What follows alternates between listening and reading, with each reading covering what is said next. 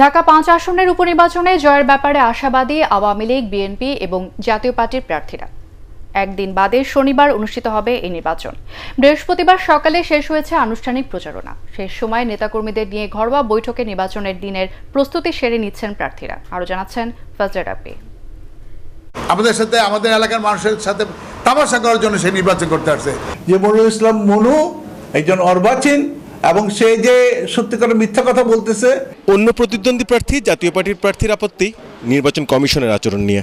নির্বাচন তফসিল ঘোষণার সাথে সাথে বিলবোর্ডগুলো অপসারণ করার কথা কিন্তু একটা বিলবোর্ড রঙিন বিলবোর্ড অপসারিত হয় নাই। নির্বাচনের দিন সহিংসতার আশঙ্কায় আছেন ধানের শীষের প্রার্থী সালাউদ্দিন আহমেদ।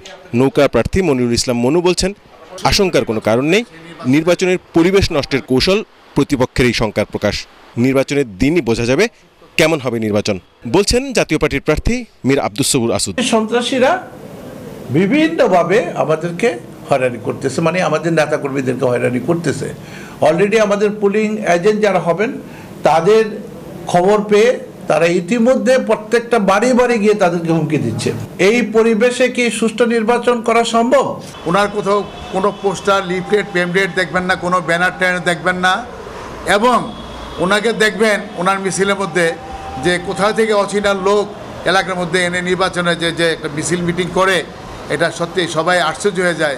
আমি মনে করি নির্বাচনের দিন বোঝা যাবে নির্বাচন কমিশন সঠিক না বেঠিক। শেষ সময়ের ঘরোয়া প্রস্তুতির সময় গণমাধ্যমের সামনে একে অন্যকে দোষারোপ করার পাশাপাশি প্রত্যেকে নির্বাচনের জয়ের ব্যাপারে আশাবাদ জানান। নির্বাচন কমিশনের কাছে প্রত্যাশা করেন নিরপেক্ষ ভূমিকার। আর ভোটারদের প্রতি আহ্বান জানান কেন্দ্রে গিয়ে ভোট দেবার। আওয়ামী লীগের সংসদ সদস্য হাবিবুর রহমান মোল্লা মারা যাওয়ায় শূন্য হয় ঢাকার এই আসনটি। ফজলে রাব্বি এটিএন বাংলা ঢাকা।